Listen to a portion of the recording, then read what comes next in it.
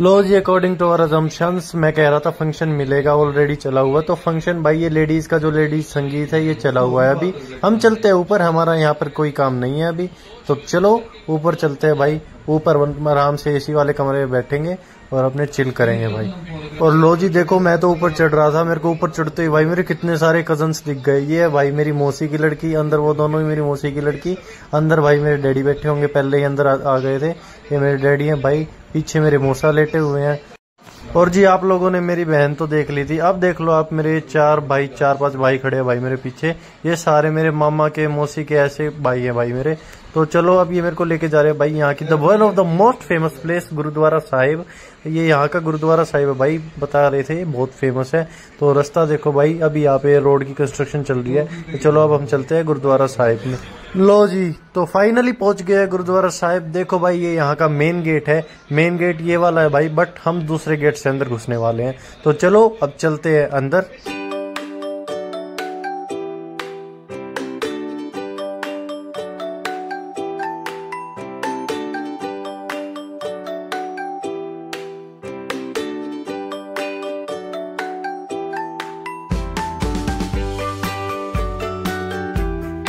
लो जी after so much wait हम आ गए हैं अंदर और अंदर आने के बाद भाई यहाँ पे हमने कर दिया अपने शू सबमिट भाई ये यहाँ पे फ्री सेवा है।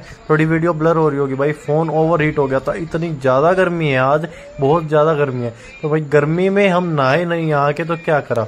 आप लोगों को भाई पहले मैं ये तालाब या फिर जो कुंड है, ये कुंड दिखा देता हूँ और साथ में गुरुद्वारा साहिब दिखा देता हूँ। फ्रोम बैक भाई ये है और यहाँ पर हम स्नान भी कर सकते हैं और भाई हाथ मुँह भी धो सकते हैं। कहते हैं कि यहाँ की भाई ये जो पानी है, इससे सारे के सारे स्किन के स्किन प्रॉब्लम निकल जाते हैं।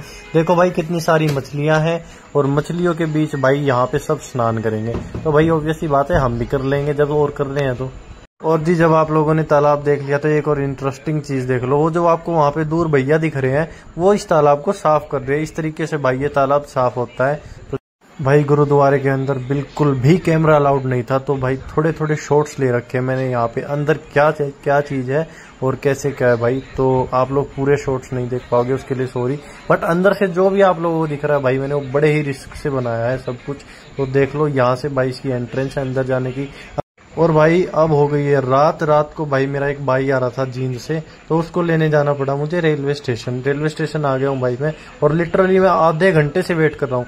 अब हम सारे कज़न इकट्ठे हो गए, भाई कुछ खेल रहे हैं, मौज मस्ती कर रहे हैं। मौज सारी की सारी क्लिप्स जोड़ के देखी थी व्लॉग छोटा बना था तो सुबह सुबह आ गया भाई, हम बुग्गी पे बैठ गए बुग्गी की सवारी कर रहा हूँ मैं।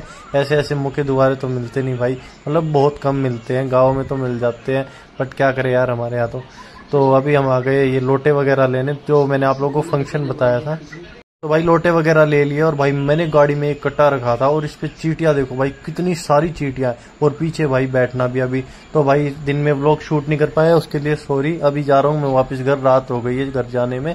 तो देख लो भाई, और रस्ते में भाई एक चीज़ और दिखी मेरे को, देखो आग लग रही है भाई कैमरा टर्न करता हूँ। तो देखो भाई, कितनी सारी आग लगी हुई है, पता नहीं आग क्यों लग रही है। तो अगर ब्लॉग पसंद आया तो लाइक करें शेयर करें सब्सक्राइब करें।